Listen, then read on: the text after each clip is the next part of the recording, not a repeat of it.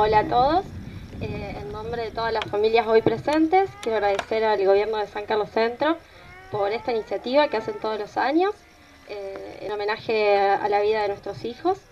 Y bueno, eh, deseo que todos los arbolitos que, que están plantados hoy, en nombre de ellos, eh, crezcan juntos a la par. Muchísimas gracias.